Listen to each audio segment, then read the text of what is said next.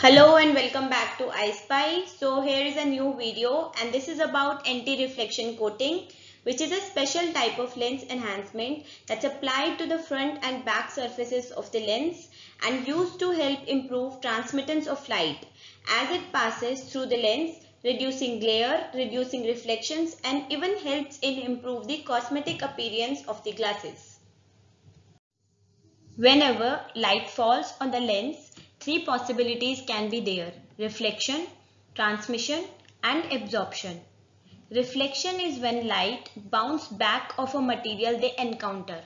Example of this would be light reflecting or bouncing back from a white surface like snow. Transmission is when material lets waves pass through the substance. Example, this could include a window transmitting light which makes your house brighter inside. Absorption is when light absorbed by a substance. Example of this would be when light hits a black material, most of that light is absorbed by the material which makes it heat up. This is why you feel very hot if you wear a black shirt on a sunny summer day. Your shirt is absorbing light which causes it to heat up. When light incident on boundary between two transparent medium having different refractive index. Most of light is refracted but a small amount is reflected. This reflected light may be troublesome to the wearer of the spectacle lenses because it can produce ghost images, falsification of image position, haze and loss of contrast. In addition to these, the reflected light can be annoying to observer because it may obscure the wearer's eye with a veiling glare and accentuate the fact that glasses are being worn.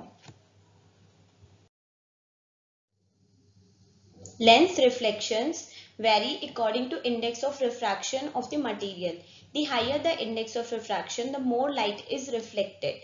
As can seen in table, a low index CR39 plastic lens reflects 7.8% of incoming light, but a high index plastic lens can reflect 14.1% or almost twice as much. Theory of anti-reflection coating uses wave nature of light or principle of interference. So here I am assuming that you are familiar with what is wave, wavelength and its properties. Whenever two waves of equal intensity or amplitude produced by a monochromatic source are superimposed, their cancellation or neutralization called destructive interference if the path difference is an odd number of half wavelengths and constructive interference if path difference is equal to an even number of half wavelengths. When a transparent coating has been applied to the surface of an ophthalmic lens, two reflection waves will occur. One from front surface of the coating and one from the lens surface that is interface between the coating and the lens. According to the principles of interference, these two reflection waves will cancel one another in two conditions. Those conditions are amplitude condition and path condition. For amplitude condition, two reflection waves must be of equal amplitude and path condition requires that reflected waves should be out of phase by one half wavelength. Examination of the amplitude condition will tell us the index of refraction of the coating and the path condition will reveal the proper thickness of the coating. Now next step to see how to satisfy these two conditions. To satisfy the amplitude condition, the index of refraction of the coating should be equal to the square root of the refractive index of the glass material. For example, if refractive index of glass material is 1.523 which is of crown glass, then refractive index of coating material will be 1.234 which is square root of 1.523. In addition to having an ideal index of refraction, the coating must have good adhesive properties, it must be sufficiently hard and it must be insoluble in water. Of the known materials having an index of refraction of 1.234, all are either too soft or are too soluble in water. A compromise material must therefore be accepted in order to obtain a sufficiently hard coating that is water resistant. And magnesium fluoride has the optimum combination of optical and physical properties and is used almost universally for anti-reflective coatings of glass lenses. Its refractive index is approximately 1.38 is too high to completely satisfy the amplitude condition when applied to ophthalmic crown glass. This results in an incomplete neutralization of reflections with the results that the reflectance of a surface cannot be reduced to zero for any wavelength. The ideal glass to be used with magnesium fluoride would have an index of refraction of 1.38 square or 1.904. Therefore, more efficient results will be obtained when magnesium fluoride is applied to glasses with high index of refraction. To satisfy path condition, these two reflected waves should cancel each other. Now to make this happen, need to create a reflections in such a way that two reflections are half wavelength apart from each other. And here you can see when we shift one wave by one half, we get destructive interference as a result which is required. Now to achieve two wavelengths exactly half wavelength apart, the two reflective surfaces need to space one fourth wavelength apart and as a result we get this as a thickness of a coating. Here is the presentation of how lens coating cancels reflections. This is incident ray which hits the coating surface first, then lens coating interferes. And if the amplitude and path condition both meets, then reflection from coating and reflection from glass cancels out each other. Next question comes is why do coated lenses look purple or blue or green or whatever? So here is the answer. For any given wavelength, it should be possible to obtain nearly 100% cancellation of reflections by means of applying a 1 4th wavelength thick layer to the surface of the glass. But the trick is 1 4th of what wavelength? Light isn't all one wavelength. There is a different wavelength for every color from 400 nanometer violet to 700 nanometer red. No thickness of coating can be one-fourth wavelength of all of them. So the designer has to choose. Typically they choose a wavelength that's close to the center of the visible spectrum so that the beneficial effects of the coating will be as uniformly distributed over the visible range as possible. The visible range being 400 to 700 nanometer, the wavelength generally chosen as a target was in the neighborhood of the 550 nanometer or right in the center.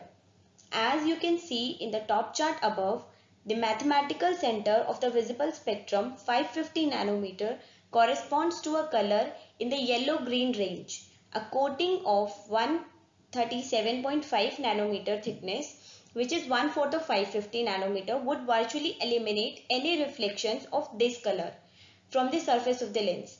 It would reduce reflections of other wavelengths also, but the efficiency of its effect would become progressively lower as the wavelength deviates from 550. The net result is that the overall goal of suppressing reflections is achieved, but it is not achieved equally for all colors. Single layer versus multi-layer coating. Why single layer anti-reflection coatings are not 100% effective?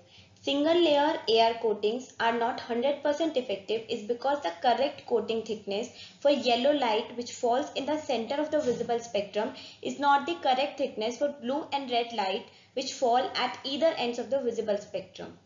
The difference between single and multi-coating is not as great as that between an uncoated and a single coated lens.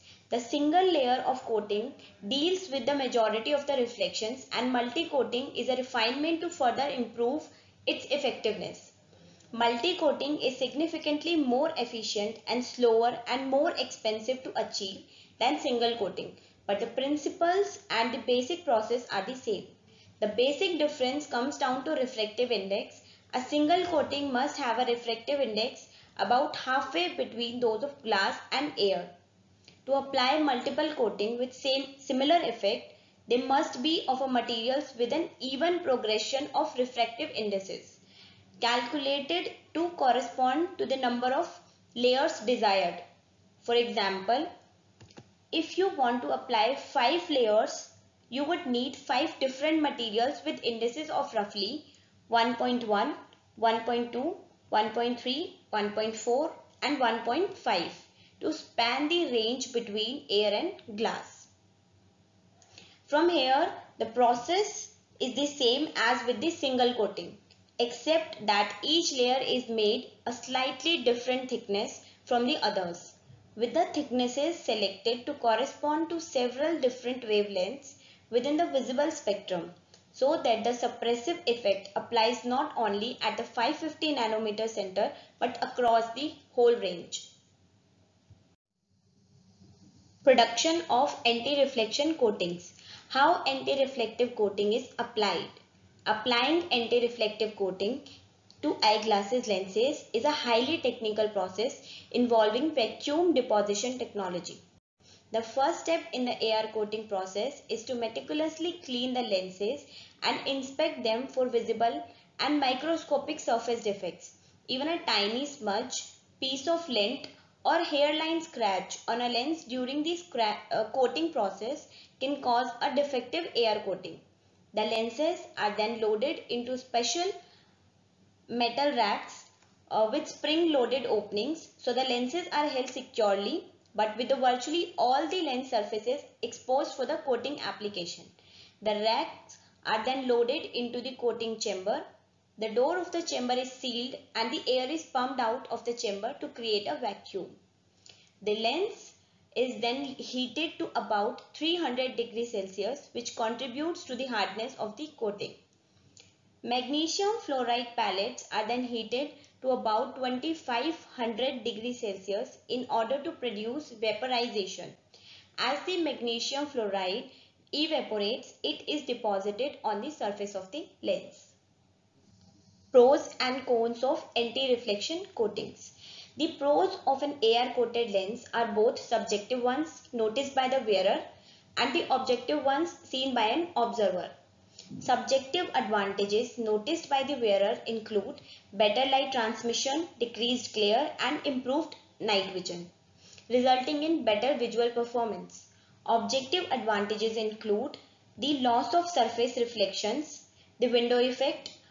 Without lens reflections, the wearer's eye become more visible. Because edge reflections are reduced and the lens appears less visible, AR coatings makes thick lenses appear thinner. Cones of ARC are smudges are more visible than with uncoated lenses. AR coatings exaggerate the contrast between clean and dirty areas. Caring for an anti-reflection coated lens. AR coatings are much tougher than they used to be. They are not, however, as tough as the surface of a normal spectacle lens. Certain precautions need to be taken to keep them in good condition. They include the following. Avoid ultrasonic cleaners. Avoid salt and bead frame warmers. Avoid excessive heat. Avoid caustic chemicals and sprays such as acetone, ammonia, chlorine, hairspray and other aerosols. Avoid marking lenses with heavy inks. Thank you for watching.